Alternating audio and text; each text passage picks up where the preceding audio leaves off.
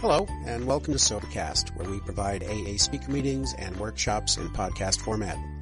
We're an ad-free podcast, and if you enjoy listening, please help us be self-supporting by visiting Sobercast.com, look for the donate link, and drop a dollar or two into our virtual basket. We hope you enjoy the podcast. Have a great day.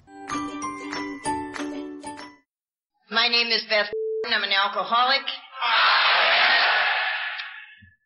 And by the grace of God and His beautiful gift, by the help of you people, a day at a time in my life, by the kamikazes that came to my house on that day and have remained with me one day at a time, I have not found it necessary to pick up a drink since March the 5th of 1972.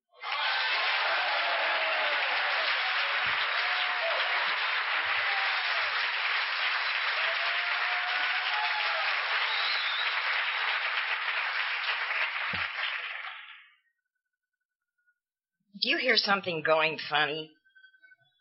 Oh, I thought I was back to the way it was once. Uh, all I ever heard was organ music. Um, I don't like to get into too much of that stuff. Uh, anyway, I first of all I want to thank the committee um, for the just the privilege of of being here for. Uh, all the speakers I, I have thought they were just, you guys are just special. Um, for you, the fellowship that's taken place here, the enthusiasm, it, guys, not pockets, it's bushels. Uh, and and for that wonderful fruit basket that we that we got, I think I'm going to put it on my head and tie my scarf around underneath my chin and try to run through O'Hare Airport with that thing. That'll be a that'll be a difference.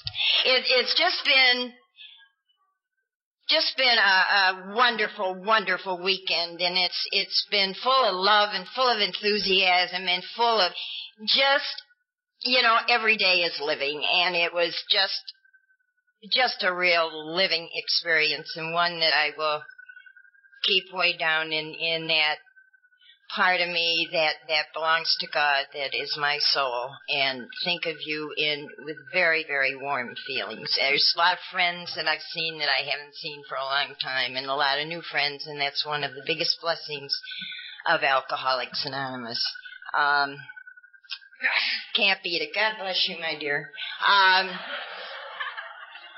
I'm a nervous wreck. With those of you who care to please join me in the serenity prayer God, grant me the serenity to accept the things I cannot change, the courage to change the things I can, and the wisdom to know the difference. Amen. I, I love that prayer. Um,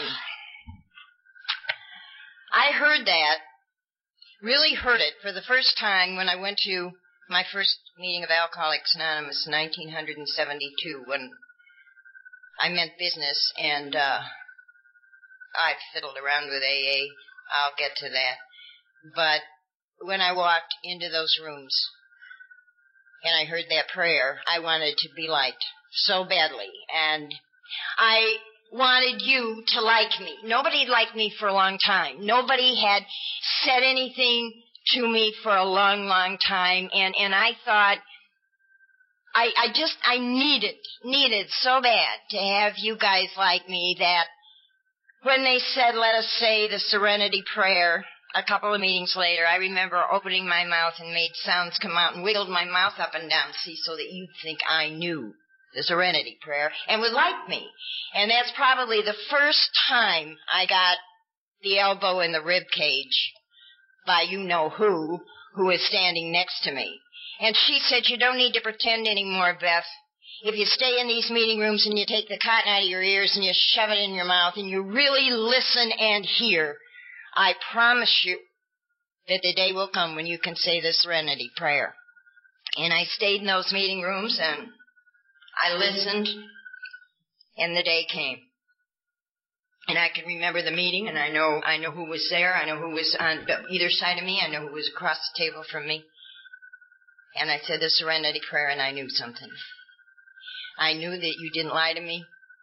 I knew that if I stayed in these meeting rooms and I listened and I heard what you were saying that that promise that you had also made me of that it will get better would happen. And I understand today it will get better means that I get better inside of me. And that in spite of the stuff that comes into my life, that every day I could live and I could be happy and I could be free and I could feel that joy that Ken talked about last night and all the speakers have talked about.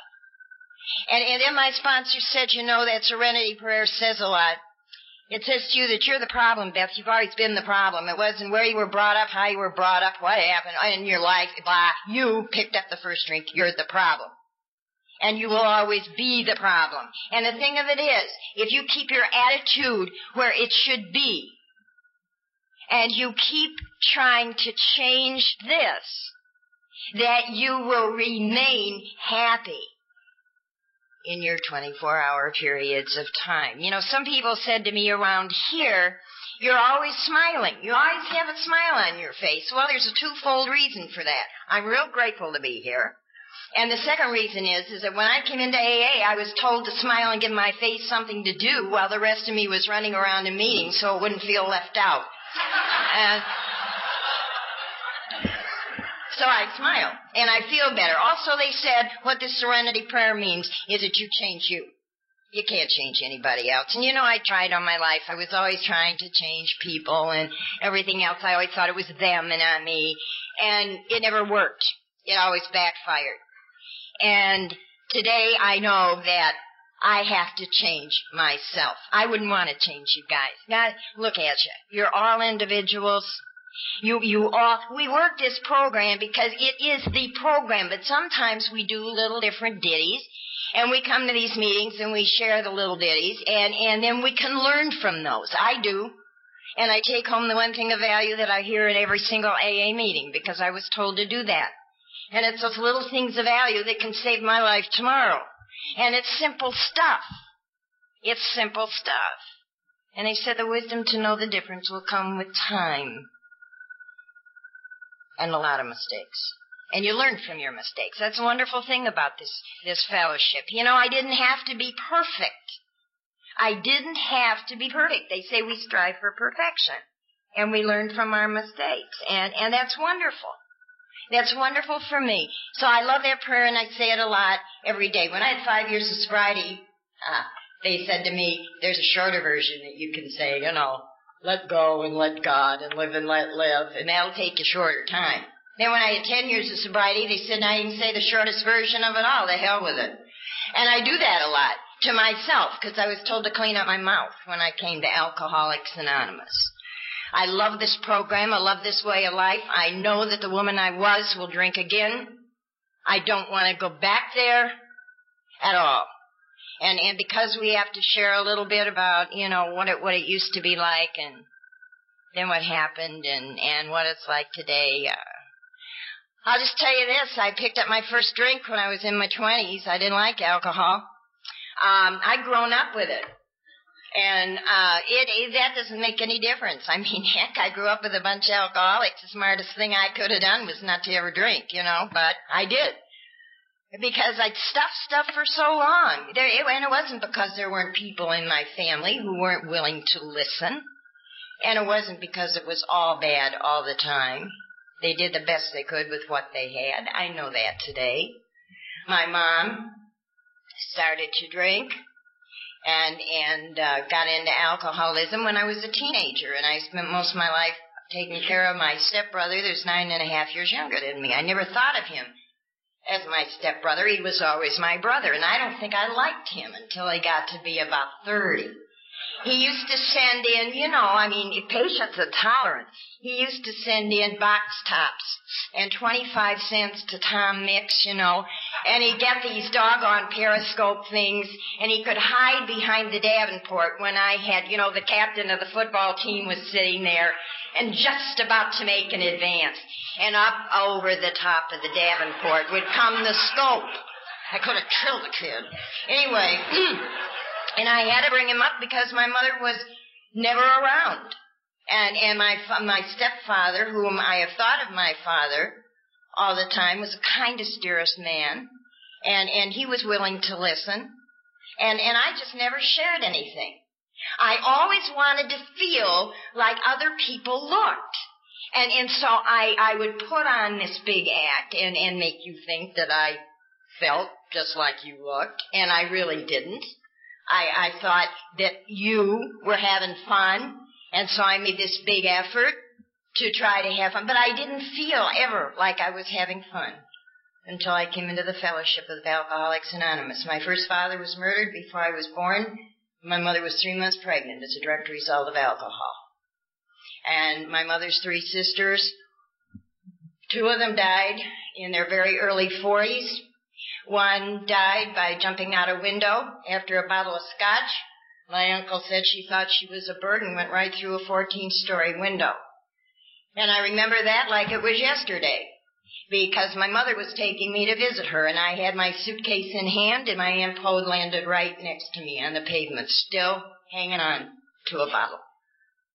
My Aunt Jean had 11 years of uninterrupted sobriety in Alcoholics Anonymous. And she stopped going to meetings. And you know and I know if you stop going to meetings, it's, it's tragic.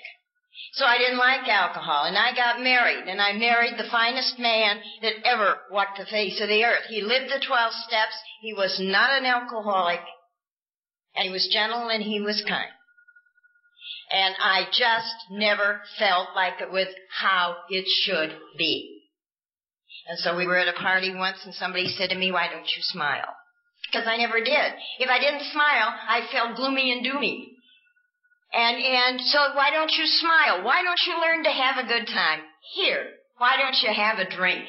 And the old hand shot out, and I picked up that drink, and I drank that thing, and by God, it did wonders. It made me feel all warm on the inside. My mouth could go like this, and I didn't care anymore what anybody thought and I could say what I wanted to say, and I went in the bathroom and I looked in the mirror, my God, I looked like Elizabeth Taylor. And this stuff was for me.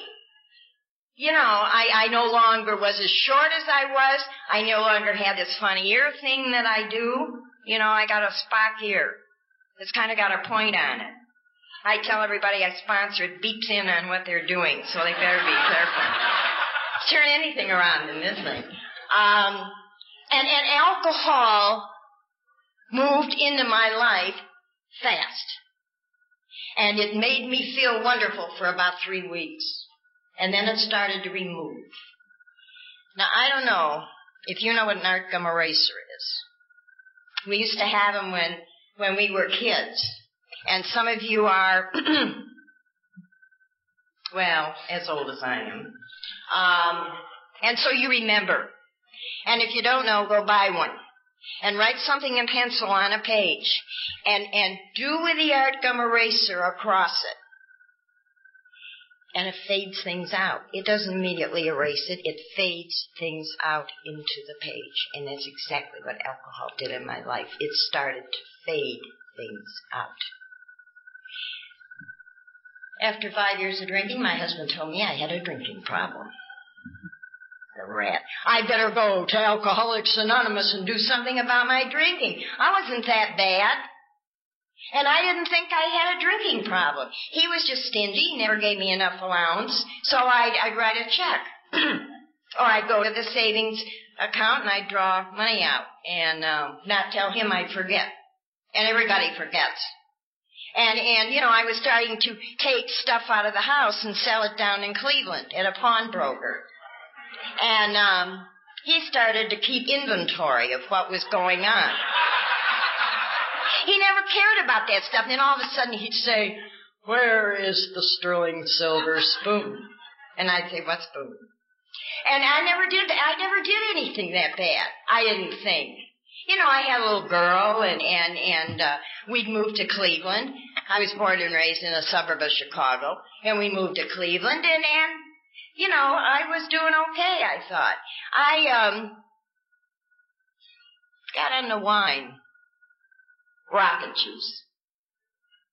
It got me to the moon. I was up on the moon planting the flag while NASA was still thinking about how they were going to do it. I could have saved us taxpayers millions, but they never asked me. Um, I discovered it because we had liquor stores, state liquor stores in Ohio, and you had to go in and sign your name every time you wanted a bottle. Well, I'd sign my name, and then I thought, oh God, and then I'd sign Tizzy Lish and Emma Glutz and, and all these different names, and then I thought, God, maybe the FBI's gonna come looking for me. What they wanted with a little white gloved suburban housewife sherry sipper is something I don't know. Anyway, that's when I found the sherry, and I found the wine, and it was cheap and it was accessible.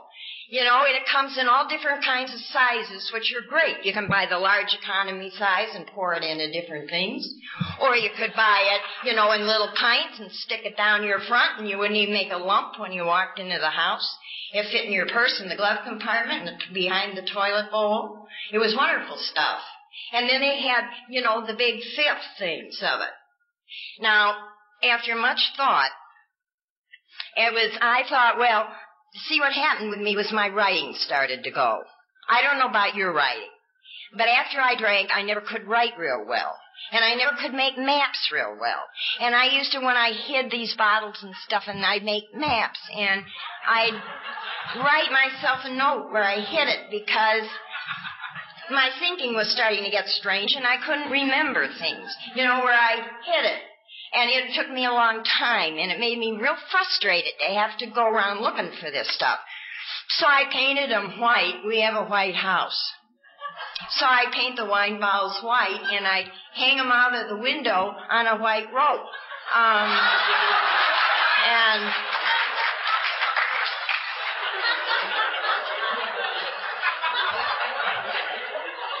I looked, and I didn't see them hanging there. I went out and checked.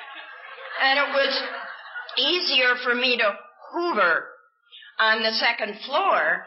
And instead of wasting all that energy and having all that frustration to run downstairs and look for stuff, I could, I just would do up the rope, you know, and take a little slug and put it back down and get on with my hoovering. Um, one day my husband called me outside. And he said, What's that? And I said, I don't see what you mean. And he said, You stand there. I'm going down the street to get Marty. Marty was his best friend. He said, Don't you move. I said, I won't. Promise.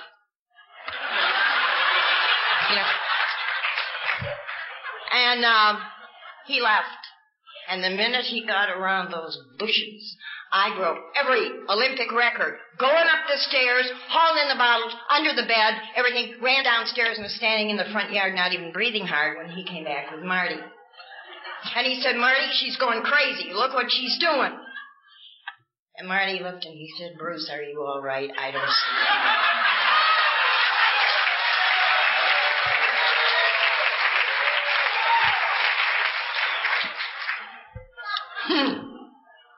And they say we don't affect the families. anyway, those were a few of the little ditties I was doing.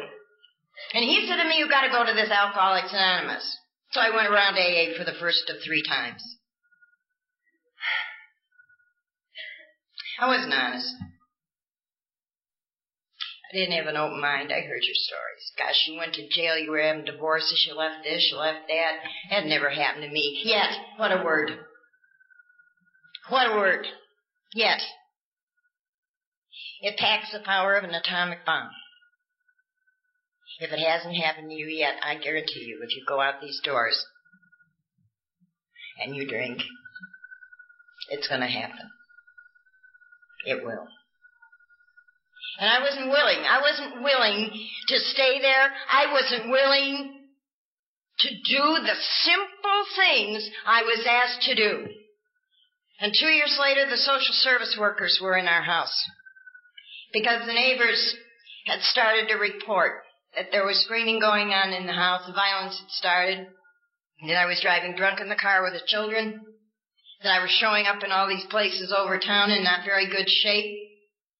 Um, you know, I wasn't doing things too bad once I went up the driveway, our driveway, which I thought was good. I didn't make a mistake and go up somebody else's. I went up my own driveway.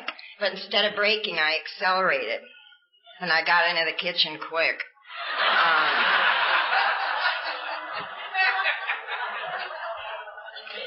all these things were going on. Also at this time, I had another little girl. And, uh, she'd had the measles. And I was in the kitchen and I was making a wine cooler for myself in the morning. And Annie, my youngest, came and tugged on my skirt and said, Something's the matter with Kimberly, Mom. And I told her to go away. I told her she was making it up and to leave me alone. I was busy. When I got into the living room, from what the neurosurgeons could figure out, Kimberly was on her fourth violent convulsion. She retrogressed back to a three week old baby. We had to put her in a private home. And she ultimately died when she was eight years old. I worked through that with forgiveness, which I'll talk to you about later. Anyway, the social service workers said you'll have one more chance. We don't care if you're married. We don't care about anything. You go to Alcoholics Anonymous. And I went around AA and I played the same game. I went to one meeting a week too. I don't know of any kid ever who passed from one grade to the next going once a week to school, and I do not think it can be done in Alcoholics Anonymous. And I'm not speaking for AA, I'm telling you how I feel. Meetings are important. This is our classroom. This is where we learn how to live, how to be free, how to have fun. And if you don't go, you don't learn. And if you don't learn, we die. It's just that simple. A couple of years later, a judge looked at me over a thing like this. I was in a lot of trouble. I'd had quite a few DWIs, which my husband always got me out of. I also had had a run-in with the Summit County Sheriff.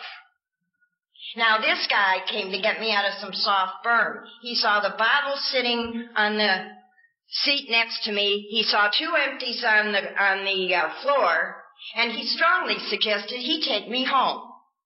And I didn't want him to because I didn't, well, I wonder what the neighbors would think. The neighbors probably would stand out there and say, finally, yeah, it's about time. And I got mad at him. So I hit him over the head with my wine bottle. he had 24 stitches and a headache.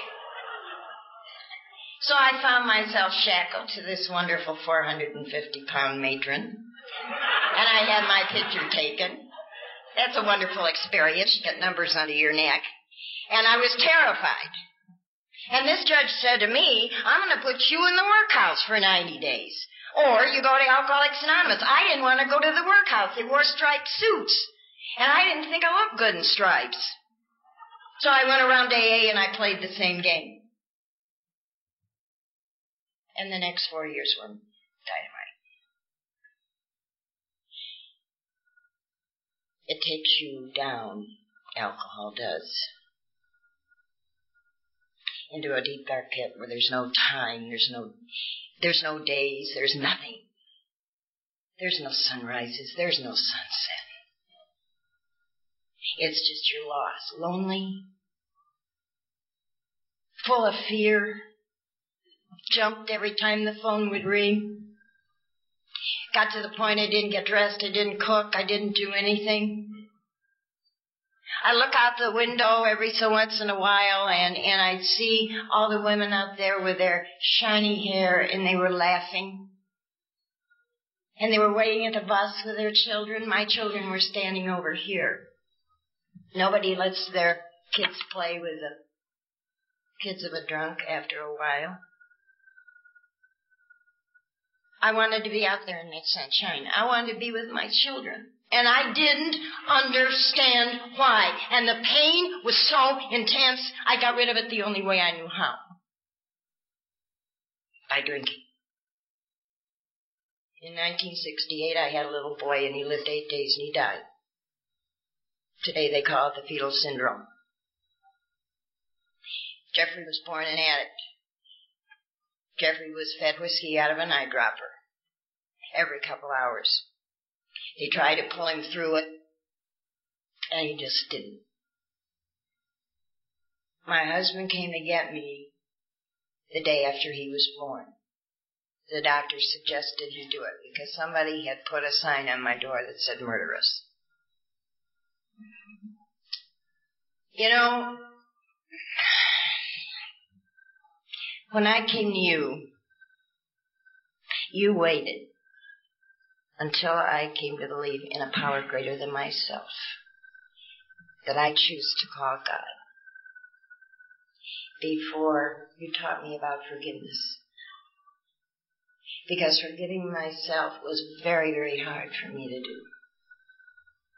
And you said to me, God, in all his wisdom, has given you the beautiful gift of life. Who are you not to forgive yourself, Beth?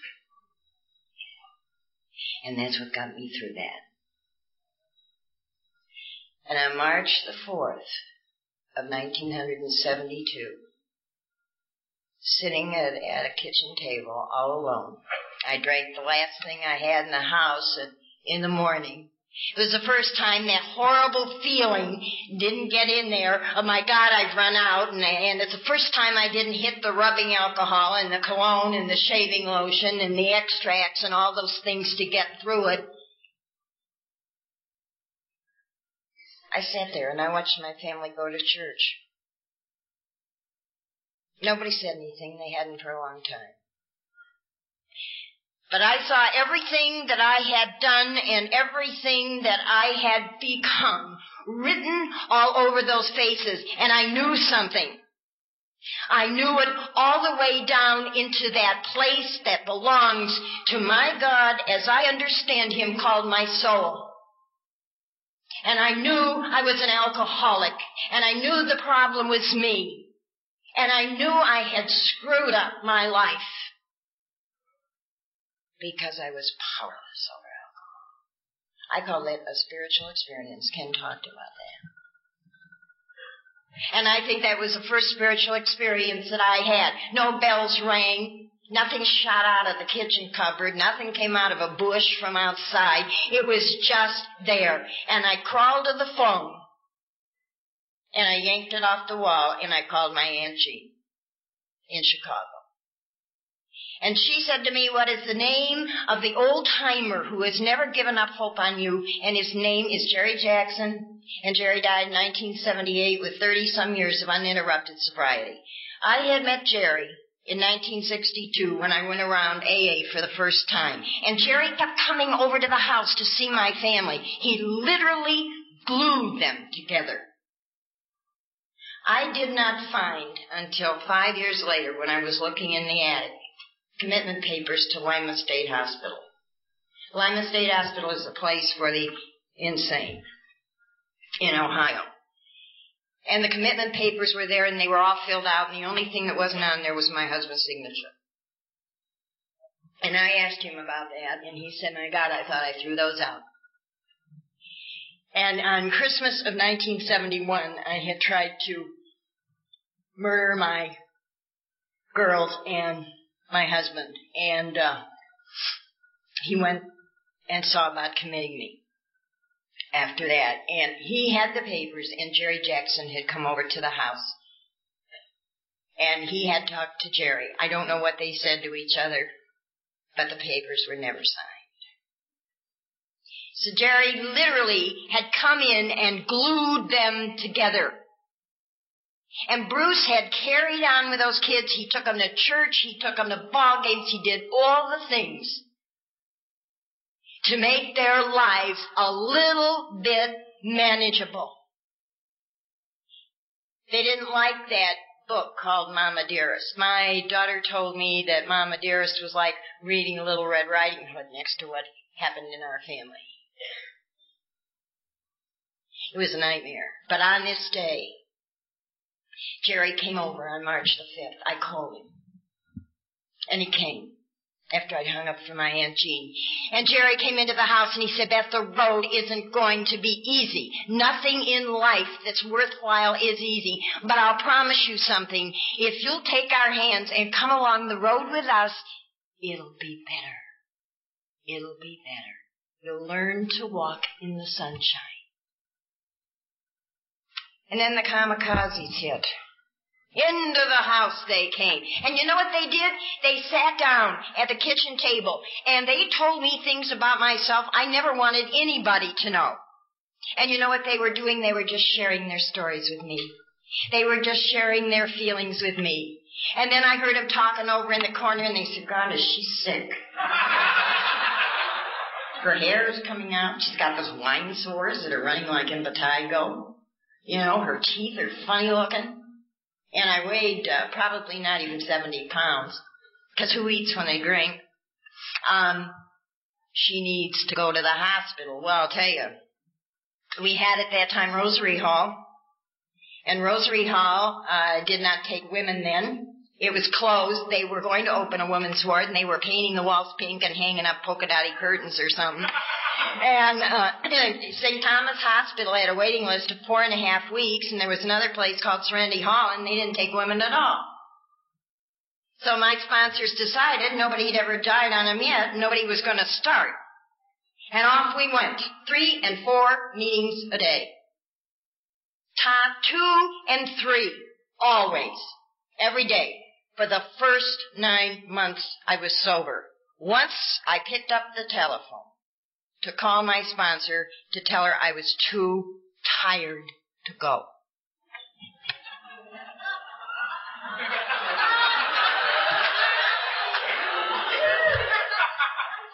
you know, everybody's told you what their sponsors have said. All mine never did was go, hmm. That was all. Hmm. I said, I am too tired to go to the meeting. Silence. Hmm. And then she said, if you think you're tired, what do you think we are? Suit up, we're gonna show up, and we'll be there in ten minutes. That's what they kept saying to me, suit up and show up. That's all you have to do, suit up and show up. Who cares? What else? And then they came, I never did that again. I never did there. But it was in those meeting rooms. You know what I heard? I heard we. Not I, me, my, mine. I heard we. I didn't feel alone. We are powerless over alcohol. Our lives have become unmanageable. There were other people too. And I took the cotton out and I put it in the mouth and I learned to listen and hear. And you know, people throw in little things like God gave you two ears and one mouth. What do you think that means? You know, and I'd think for a while, and then I didn't think. And they told me not to think. And I've heard that from up here this weekend too. You don't think. You follow directions.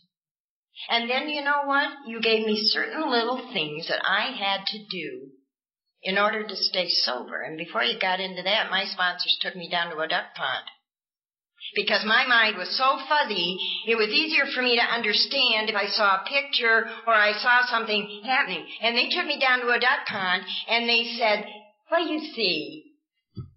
And I said, ducks. and they said, what are they doing? And I said, they're gliding along. You can't even see a ripple in the water. They look peaceful. And they said, all right, now hold your nose Stick your face under the water, open your eyes, and come on up and then tell us what you saw. I was so grateful they told me to come up. I did what they said. Um, so I did it, and when I came up, they said, What'd you see? And I said, Their little legs are going around like this under the water. They said, That's right. If you want that serenity that you see, you've got to get into action. Your little legs have to go around. Because the minute your little legs stop to it's just like the ducks, you're going to sink and you're going to drown. And AA isn't going to come to you and hand you serenity and sobriety on a silver platter. You got to work for it.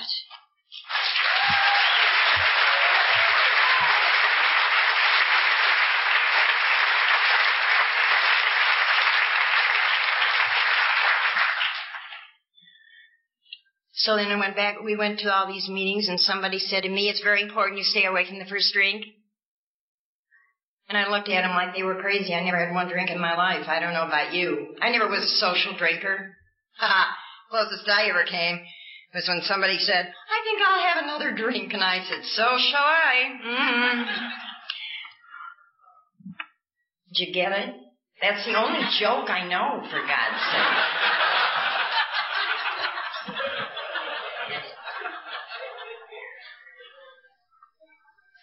That's when I was invited out of the meeting. You know where I was invited? And I heard it from Winnie yesterday. I was invited across a field. I was invited to sit down on a railroad track. They said it's right out there. Across the field, go sit on the railroad track, teach patience and tolerance while you're waiting for the choo-choo. And then when it comes along and it runs over you, get up off the track, come on back into the meeting, and tell us how you feel. Oh, I wasn't that crazy. I said, I'll never make it back. I'll be dead. In fact, I'll be dead when the engine runs over me. And the whole room exploded and said, right on, it's the engine that kills you, not the caboose. It's the first drink that pulls something up here over which you have no physical control. Now, I've had people ask me after a meeting, what if the train is running in reverse and the caboose comes first? I don't pull things apart and analyze and all that kind of bull. As far as I'm concerned, since I have been born when Lincoln was President of the United States, the engine has always pulled the choo-choo.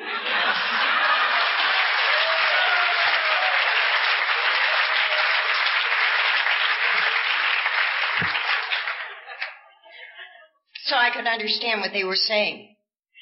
But I never could stay away from the first drink one day at a time. I have never been able to work this program one day at a time. I gotta do it right now. Right now, I could stay away from that first drink when that god awful compulsion used to come before it was gracefully removed from my life. Right now, you gave me things to do. And you know, that still works today with negative thinking. Just because I've been sober a few 24 hours doesn't mean that everything is happy and wonderful and nothing's coming into my life. I got like, I've been through the valleys. But I know what to do about it right now. If I wait five minutes, I'm in trouble. If I get a resentment, yeah, I get those. And I wait, it gets worse. I gotta get rid of it right now. And you told me how to do that. And you know what? You've never used me for an experiment. You've always told me what has helped you, and I've heard it here in AA meetings all over the place. Meetings I go to to figure out how I can keep this in a good, orderly direction. And, and so I heard things like, get 25 phone numbers, put them up by the wall, by your phone. I said, I have a phone book. And my sponsor said, what good is a phone book going to do you when your insides start churning around? How are you going to remember where the Sam Hill you put the doggone thing? And you'll get more frustrated as you look. If they're there by the phone, you can pick up the phone and see them and dial. And the reason for 25 is, if you dial the first number and the line's busy, because the person has the audacity to be talking to somebody else when you need them, you don't need to get a resentment and say nuts on the whole thing. You go on to the second number. And if that person happens to be going on with the everyday living of life and being out of their house, you don't get a pity party. You go on to the next number. Somebody in those 25 are going to be there. And I still have them there. And they're there, and they're by my phone at work, and they are by the phone upstairs. They're there. Yes, they've changed over the years because people have gone to the big meeting in the sky. But they're there, and boy, I go right for that with the first negative thought. I have to do that today. You also told me something. Don't let a buzz in your head that you can never be a social drinker. You're going to read a lot of stuff in the paper. That Hoosie took 50 people and made them into social drinkers. And he said, now they're all dead or crazy. But what you do is this. You can't. You're an alcoholic. And it's like being a cucumber growing in a garden. And there you are, all green and wonderful, growing in the garden. And one day somebody comes along and picks you. And they put you in a barrel. And it smells in there, and it's awful. And they put the lid on, and it's dark. And you're lonely. And then one day they take the top of the barrel off. We don't know whether it's two weeks, a year, months, whatever it is. And they take you out and you have become a pickle. And you have to start learning to live like a pickle because there's no way in Sam Hill a pickle can ever be a cucumber again. And it registered. And they also told me to buy a jar of pickles and to keep them in the refrigerator as a constant reminder that once I was a cucumber, I am now a pickle, and I can never be a cucumber again as hard as I try. I have never seen a pickle that's returned to a cucumber. I haven't in all these years. And I still have a jar in my refrigerator. Not the same jar, for God's sake. But, you know, I keep it there, and I'll open the refrigerator, you know, ha, hi, what stepper you on today? You know, and talk to those pickles. Because they never can go back, and either can I. And that helps me with any of those dumb, crazy thoughts. And I was told to read the big book of Alcoholics Anonymous, two pages a day out loud. So it would go in through this thing and get down into here. And they told me to start in the flap. And the stories could come in time. And to keep going and that it was the greatest love story that I would ever read, and it is. Look around this room. You want to see a miracle? Look around this room. We should be dead. We should be insane. Our families should have a long time gone. And here we are, happy and joyful and free. You know why? Because the big book of Alcoholics Anonymous is a miracle a miracle giving a way of life to people who by all judgment of society ought to be dead, gone, buried, locked up, something else. It's a miracle of life, that big book, and it tells us what to do a day at a time in order to put one foot in front of the other and just trudge along. And if you get antsy because you don't like to take it on the bus or you don't, look how smart they got. They came out with this thing. I love this thing. This is a big book. Little pocket, little big, big book. And you know what they did? For those who, who don't want, who are really anonymous, they've made it like all in color so you really can't see what you're reading unless you get it way up here. There are no excuses. I was told that. I ran out of excuses the day I put my foot through the door of Alcoholics Anonymous. I had no excuses. I was told to read the 24 hour book. We read that in Ohio. I was told to read the meditation of the day, and I was told to do that four times a day out loud. So it will go in here, to here, and down here. And I still do that today. I've underlined in the big books. I'm on my fourth big book. And I have the first edition and the second edition and the third edition, and they're underlined and things are written in the margin, and it is a miracle, and it changes, and there's, it answers any question that we have that big book. I was told there are musts in there. There aren't you betters. There are musts. And I was told to count them. So when it gets to be winter, and the snows come, and you, you're in the house frustrated if you can't get out, just count the musts. They're there, and I'm not going to tell you how many there are. Then it took me two and a half years to come up with the right answer. I'm not dumb enough to tell you. Anyway. So, and then they told me to buy Winnie the Pooh and read it. And for those of you who do not know, it's a child's book about a bear called Winnie the Pooh. And they said, we want you to read it, and we don't ever want you to become like Eeyore. I said, who's Eeyore? And they said, read it and find out. And I read it. Eeyore is this whiny donkey that lives in a field. And no matter what happens, whether the sun is shining, whether anything, he always is down in the dumps. They said be more like Tigger, who bounces along, loving every minute of life, and not giving a rat's ass about his little problems.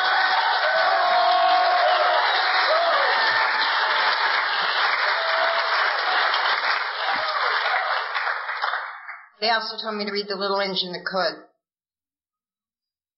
I think I can, I think I can, I know I can. I thought I could.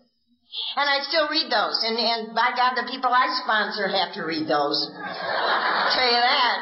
Winnie the Pooh, you're crazy. No, I'm not. Just don't be like Eeyore. Whine around. Good grief. I was told to do things like that. I was also told to get outside of myself and do something nice for somebody. To take him a flower or, or to send him a card or, or to start to wave or to smile. That's the cheapest thing to. Ever see somebody come walking towards you, walking on their face? Smile at them and watch what happens. No, they're not going to hit you over the back of the head. Watch what happens. I have never seen anything but shoulders go back and people start to whistle and, and people step lighter and we can only keep what we try to give away. And it makes you feel better too. A smile might be the only thing that anybody has ever given them in their life. Those were a few of the ditties. Also, take a bath. Take a bath. First, it was out of need. Take a bath. Get in the bathtub. Ah, you relax. Read the big book in the bathtub. If it gets wet, buy another one. You know? and I took a lot of baths. And I learned to like it because I remember the time I crawled into the bathroom when I was so sick and smelled so bad and thought if I could scrub off what was on the outside, the inside might feel like you look. And I went to turn on the water and I couldn't even do that. Alcohol removed the right so you better believe every time I turn on water, boy, whether to get a drink of water or to brush my teeth or, or to take a bath, I know it's because of the grace of God and this program that I can do things like that. And it's the simple little things in life like that. I can stand in the bathroom to take a shower. I remember when I did that once. I was naked and I had a fifth and I was drinking it and the window went up, and the man who was putting on the aluminum siding of the house looked through the window. What do you do? I step behind the shower curtain. But those things don't happen anymore. I knew I was insane. I had no problem with a second step at all.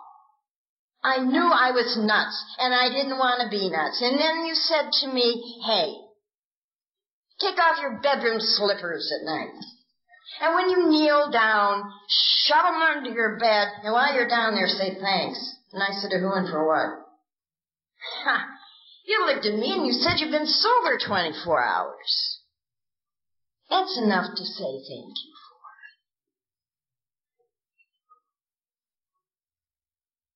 And you'll find out who you're talking to. Don't push the river, Toots. It runs by itself. You know, easy does it do it. And in the morning when you wake up and lay there and listen to the sounds of the beginning of the day. They didn't tell me to rush up and get on a trampoline.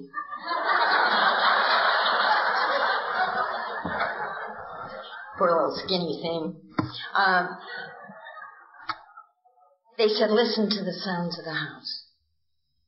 And I did. Listen to the sounds of the day. Listen to the sounds of the house. You know, I still do that.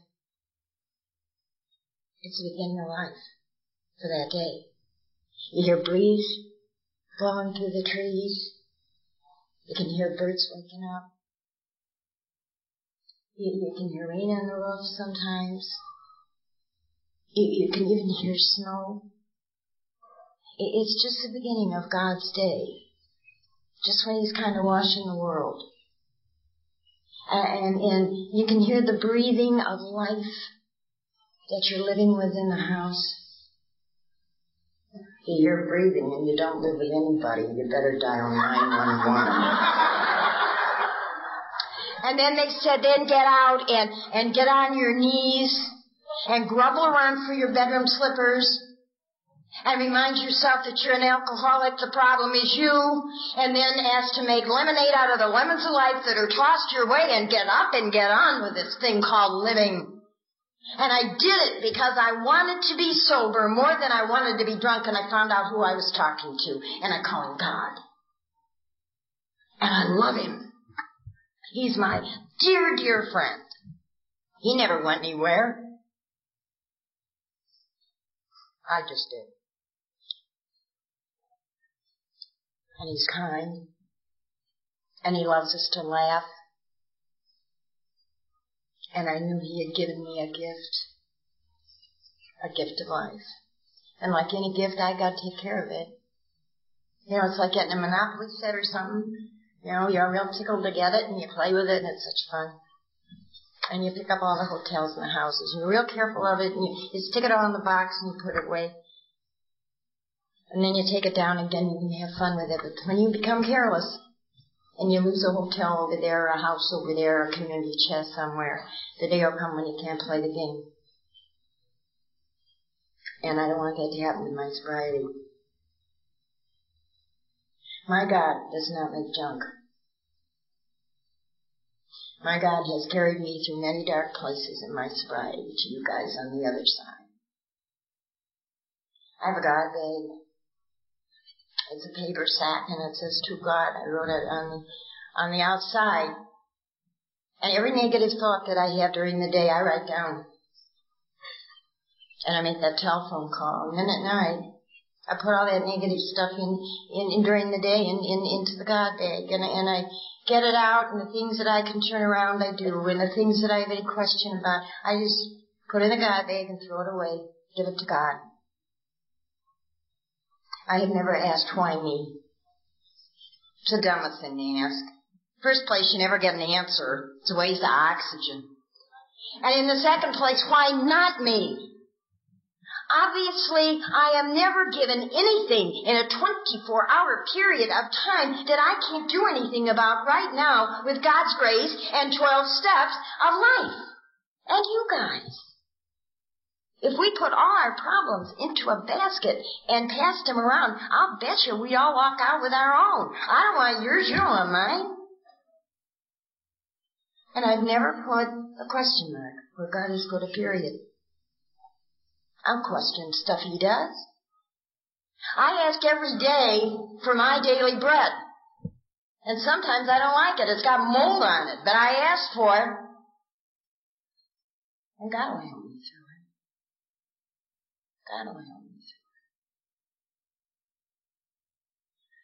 They say to call heaven, the line is never busy.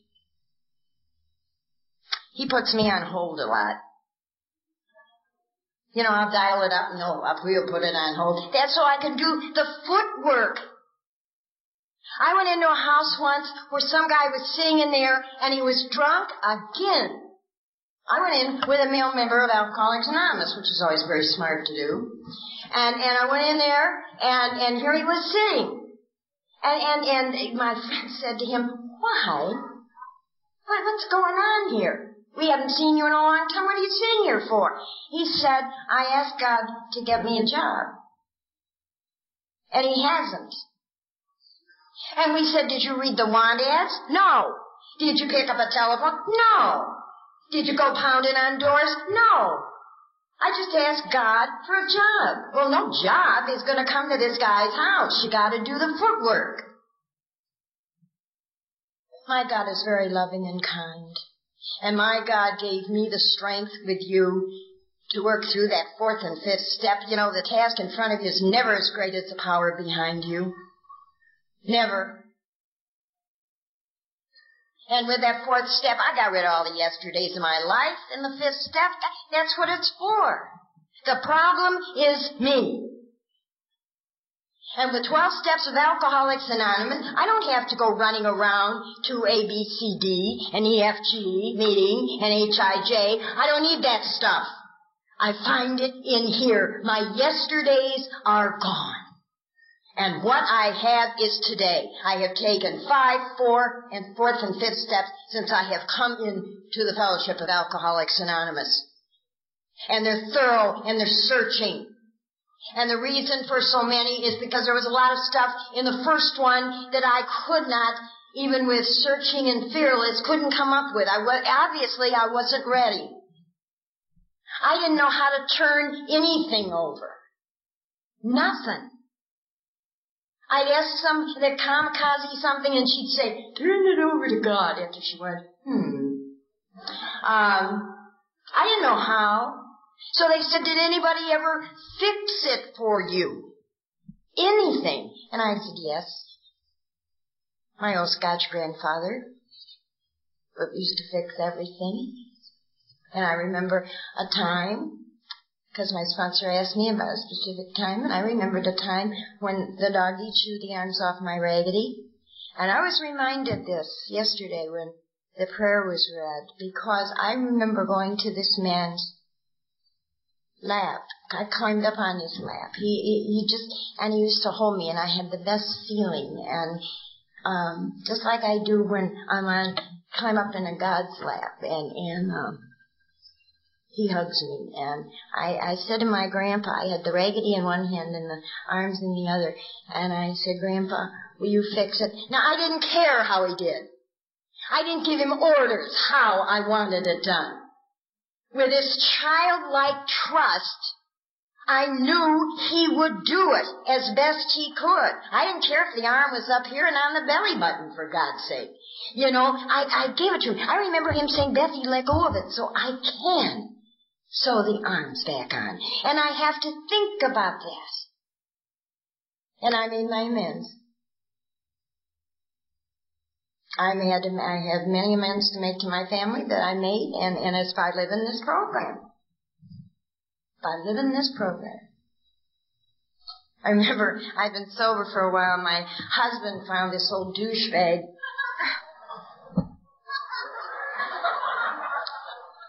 Back behind some towels. And he God,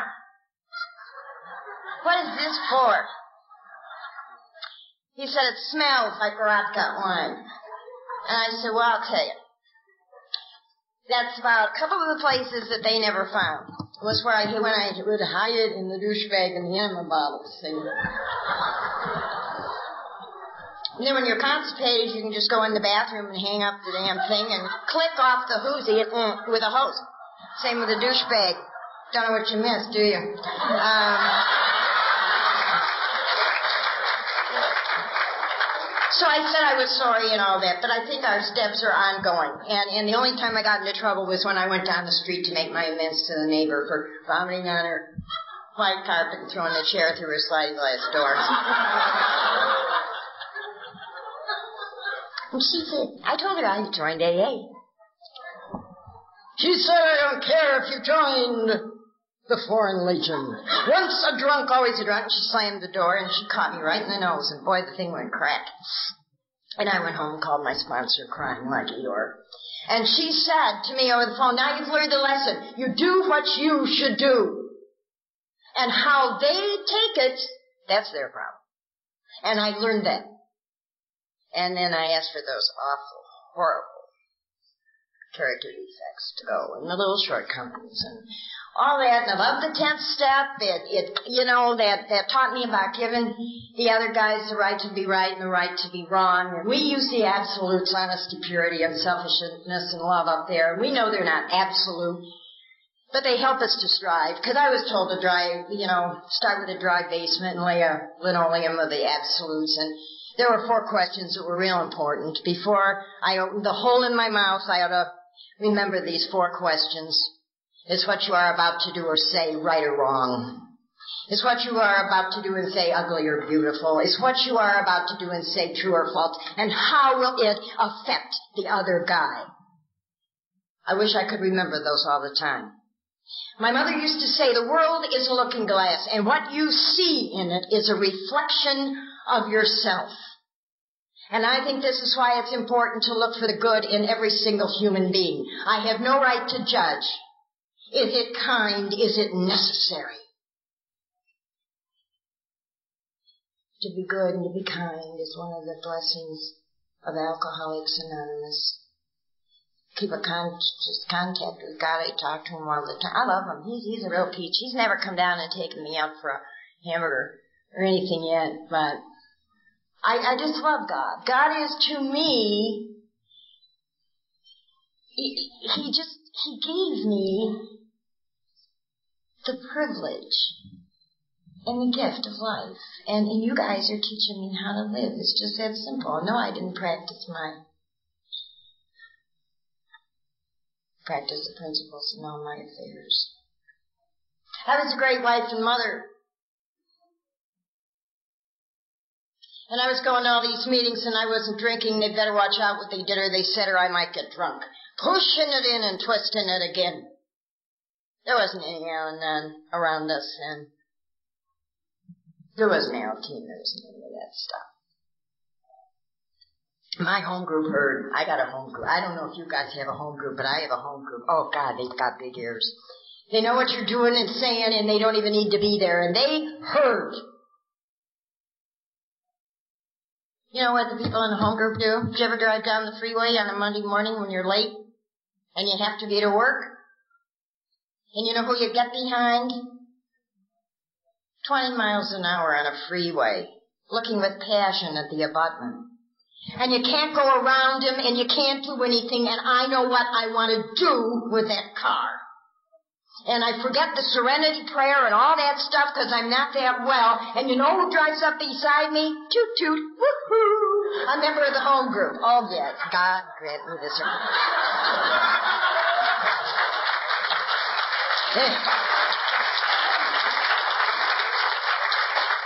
You're in the supermarket on Saturday. Every man in the United States wants to go into the supermarket on a Saturday.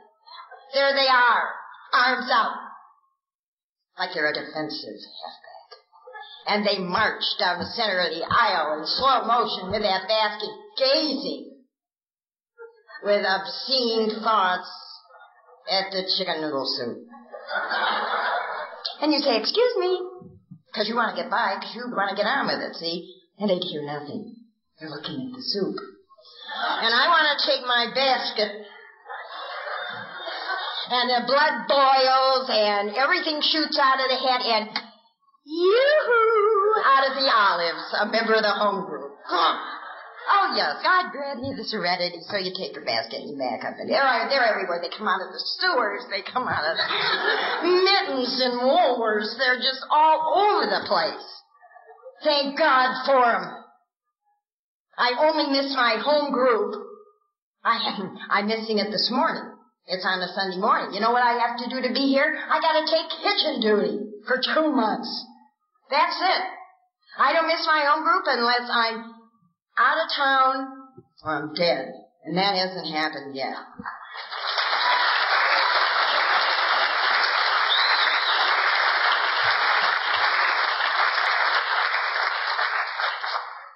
They heard, they said you go home and you treat them like you treat members of Alcoholics Anonymous after all. And I went home and I did. I started out by shaking their hands, huh, Mother. You know the warmth of that handshake? You know that handshake in the mountains? The first handshake I got in the meeting just sent shivers down me. It still does. It's, you know, to take a cold hand in your warm one. That's physical contact.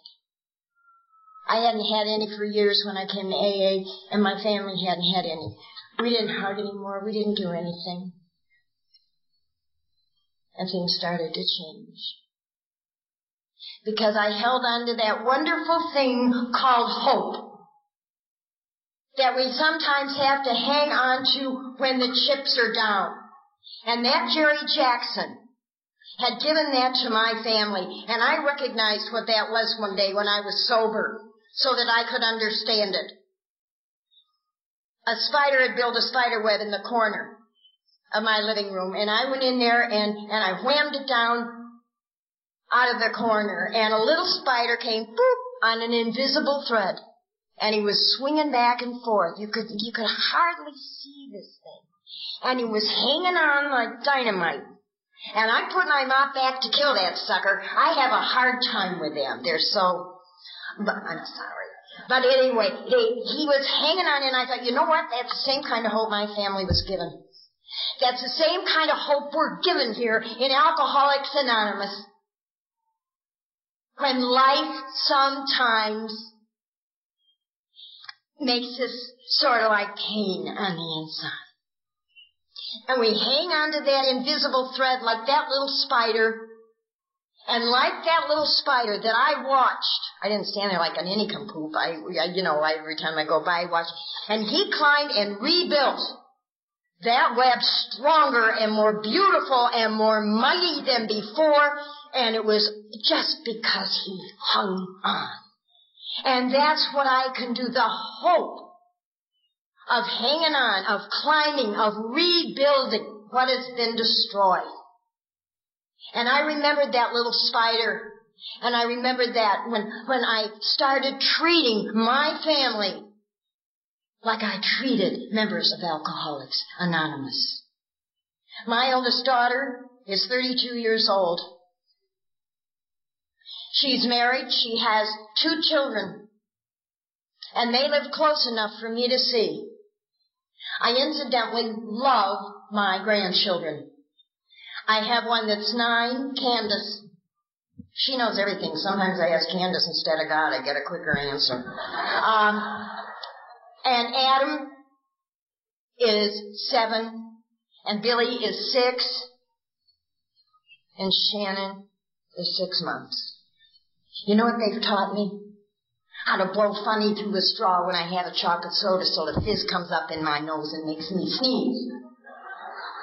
They have made a pile of leaves. And you know what I do? I run and jump in them with them. And we throw them around and we laugh and we have a wonderful time. They got me down on my knees once and they said, look at that green thing coming up there, Grandma. Isn't that wonderful how that little green thing comes up there? It was a flower. They've taught me how to enjoy the smell of grass when it's mowed. How to walk through puddles in my bare feet. How to enjoy this thing called living Children are wonderful and I love them. And I remember one time when they were over for dinner and I was climbing the stairs to go get them. And they were all sitting around upstairs. I heard Candace say, yeah, grandma goes to that AAAA thing. And, um, she said that's where you go when you don't want to drink that icky stuff anymore. And, uh, cause once she did, and she acted like a lump, Mama said. And I heard one of my grandsons say, Grandma isn't a lump anymore because lumps don't hug. You know what that does? You know what that does? I love that.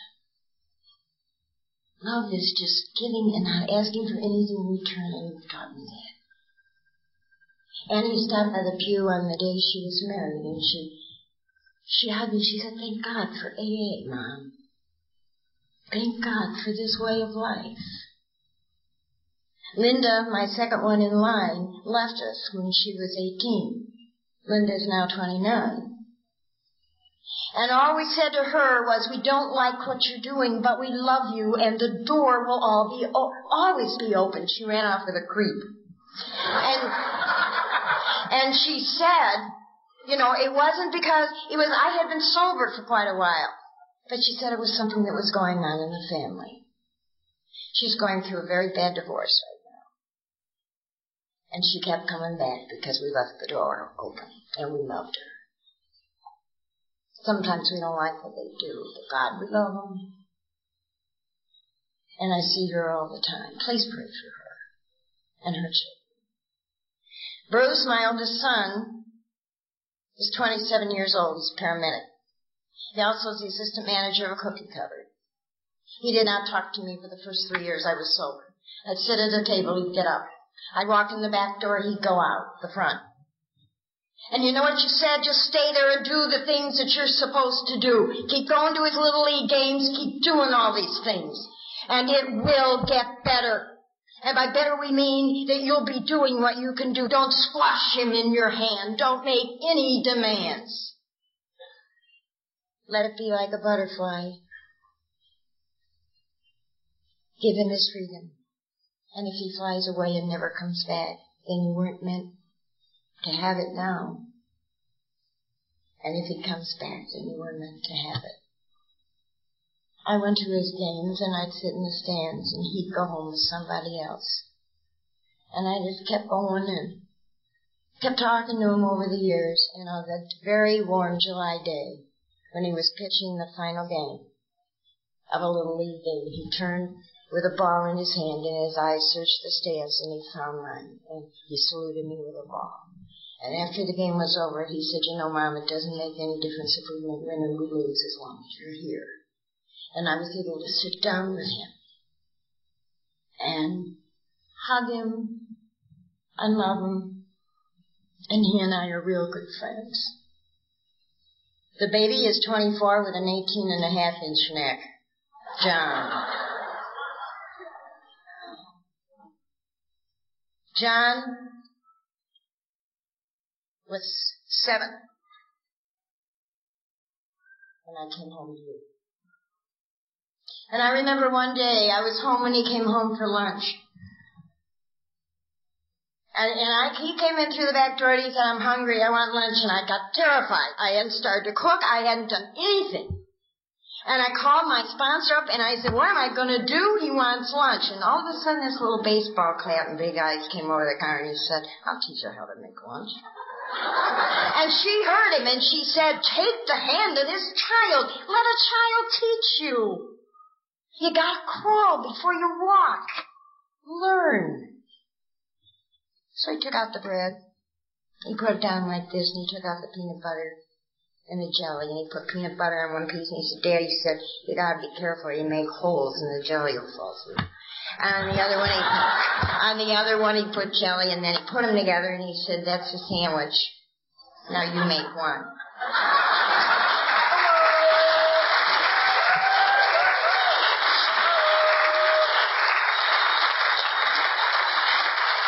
And with tears pouring down my face, I made my first sober sandwich.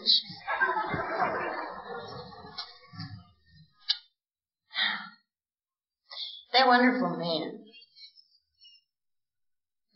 who glued those children together died of leukemia in 1978 after a two-year illness.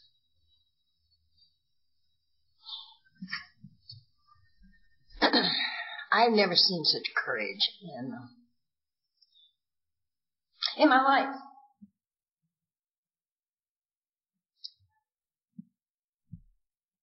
The day I found out, I walked out of his room.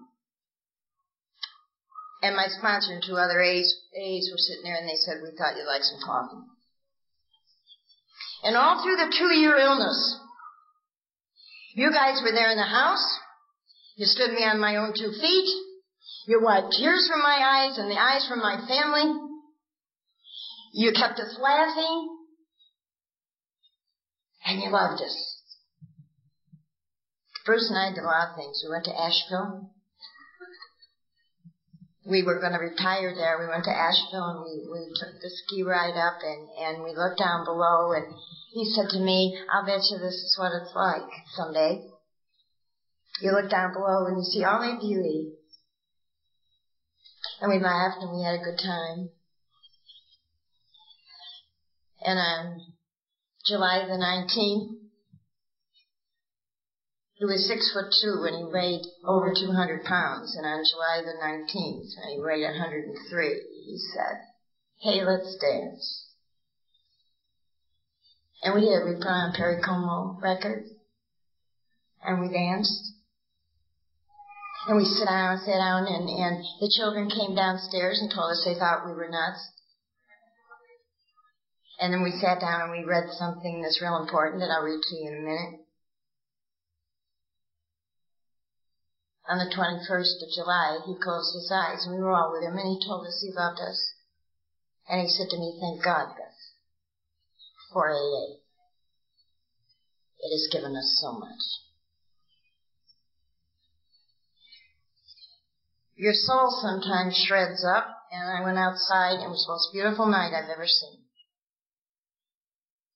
And I told this God of my life that I was sad. And all of a sudden, there was a calmness that came over me. And I knew I wasn't alone. And I knew that no matter what came into my life, with His grace and the power of this program, that it would be okay. This is quite a way of life. It teaches you to live. It teaches you to feel. It teaches you to love. It, it's just, for God's sake, if you knew, just stay in these meeting rooms. You know, nobody ever told me to keep coming back. They just said, stay here. Stay here. You just don't know what beauty it has. I do want to tell you one thing though about 12 step call because I think this is pretty important. It was the first one. And my sponsor called me up and she said, the hand has gone out. And I said, oh God. So we're going on a 12 step call. So she picked me up and we went over to the house and we went around the house and the doors had been locked. And she said to me, go in the garage and see if there's a ladder. I said, you're crazy. Get us for breaking and entering. She said, when the hand goes out. So I went in and I found an extension ladder and she said, there's no window, put it there. So I did. And she said, what are you holding it for? I said, I'm waiting for you to go up. She said, I'm not going anywhere. You are. I said, I'm afraid of heights. She said, faith and fear don't dwell in the same house. Now on with it. So I went up. As I went over the ledge, I caught my foot. And I fell on the alcoholic who was prone on the floor with her bottle out like this. Now, what do you do when you fall on somebody who's laying on the floor? And all I said, did you call AA?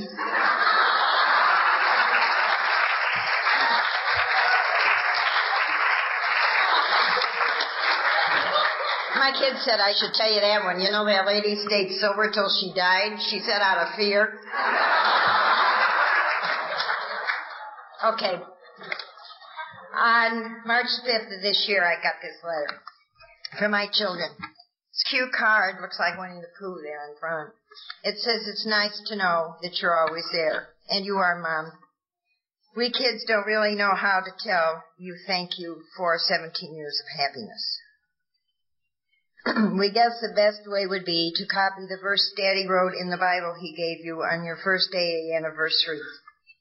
Remember you read it to Daddy and us a few days before he died. That's when Daddy again told us to thank God for your life in AA for continuing to teach you how to live in love and care and just to just be. We changed the word I to we and the other first persons so that all your children and your grandchildren could be included. We love you not only for what you are, but for what we are when we are with you. we love you not only for what you have made of yourself, but for what you are making of us. We love you for ignoring the possibilities of the fool in us and for laying a firm hold in the good in us. We love you for closing your eyes to the discords in us and for adding to the music in us by listening.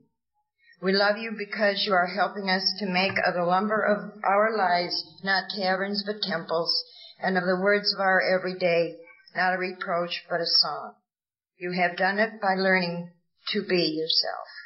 Perhaps after all, that is what AA means. We love you, Mother. You are a precious moment in our lives. Thank God for you. Thank God for AA.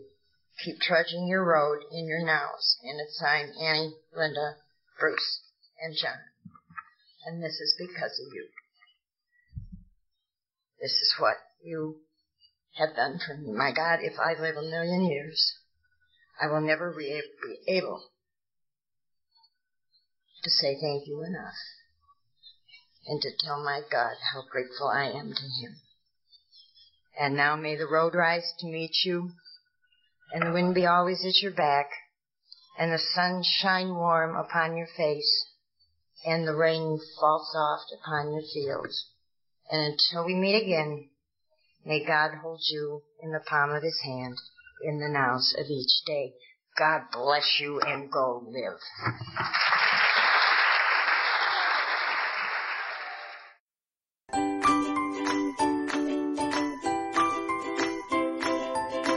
Thanks for listening. I hope you enjoyed the podcast. Sobercast is ad free, and we'd like your help in order to keep it that way. So if you'd like to help us be self supporting by pledging a dollar to a month, visit Sobercast.com and look for the donate links. Thank you very much.